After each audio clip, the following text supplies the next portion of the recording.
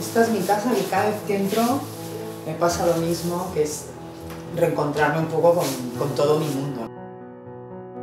Con estos últimos años, que realmente yo creo que mi rol está ya, ¿no? estoy en un momento de, de legado, ¿no? un poco de, de, todo lo que he aprendido, pues eh, transmitirlo, intentar que luego al final del día digas, hey, muy bien, me he portado bien, me he portado bien con la vida hoy, ¿no? con la vida y con mi trabajo y con la gente que está trabajando conmigo.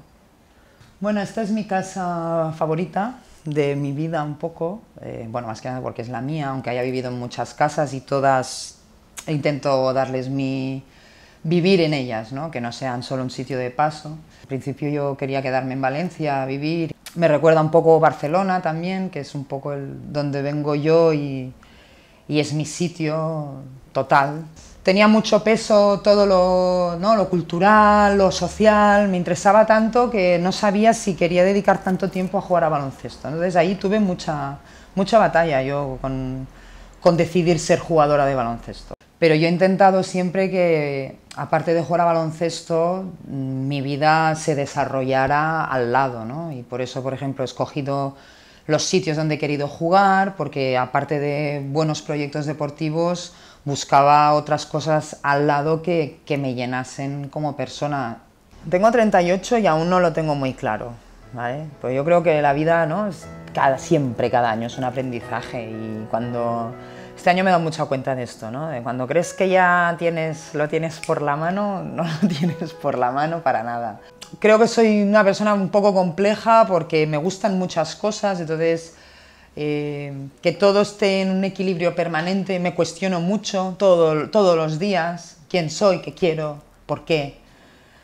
Y esto no, no me simplifica, la verdad es que no me simplifica la vida, pero también es un motor que me hace estar en búsqueda permanente. Entonces, ¿quién es Laia?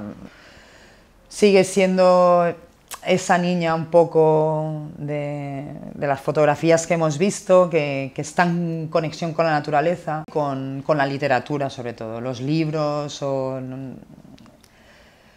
los mundos paralelos un poco, ¿no? porque a veces con este no me basta, entonces tengo que irme a buscar otros mundos. Pero esto yo creo que es culpa mucho de mis padres, ¿eh? que son profesores y yo creo que siempre estaban muy estimulando, mi padre es muy de montaña, entonces era como la hoja que cae, el árbol que no sé qué, la luz que boom, ¿no? Entonces, tanto yo como mi hermano creo que crecimos un poco como siendo muy conscientes de la Tierra a nuestro alrededor, ¿no? de, del mundo que giraba y de, de lo que pasaba. Sí. Me gusta mucho viajar.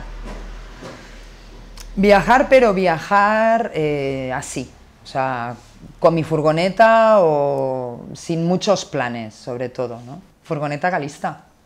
Calista, que es la más lista, que lo puso, lo pusimos con Isa Sánchez, es que esto, fuimos al País Vasco y yo la estrenaba en plan de todo ahí preciosísima y alucinada también porque ella no había viajado nunca. Yo siempre he sido de camping con mis padres, tienda, caravana y tal. Y era como ahí como un regalo y de repente un día estamos ahí en un atardecer en Zarauz viendo ahí el mar, la puesta de sol maravilloso y dice, dice Isa, dice, dice Calista, dice, es que es la maldita, así como es ella, ¿no? Y dije, no, no, se va a quedar Calista por Calisto y Melibea también, bueno, una referencia un poco literaria pero sí, sí, me acompaña. La verdad es que me hace muy, muy feliz. Es una sensación de, de libertad total. Realmente cuando yo decidí que ya estaba con el baloncesto, ha sido cuando, cuando el baloncesto me ha dado más. Y esto es una cosa también que quiero decírselo a la gente cuando veo que todo el mundo está tan, ¿no? Porque son estos años, ya lo hemos hablado muchas veces, ¿no? De que estás tan, tan focalizado en conseguir cosas que yo creo que no es que no las consigas, las, tienes que hacer ese camino, pero pero no sé, a lo mejor no lo disfrutas tanto, ¿no? Entonces yo realmente fue como, ya está, ya lo tengo. Entonces a partir de ahí fue como, fuera presión, fuera nada, todo lo que venga será un regalo. Y realmente está siendo así.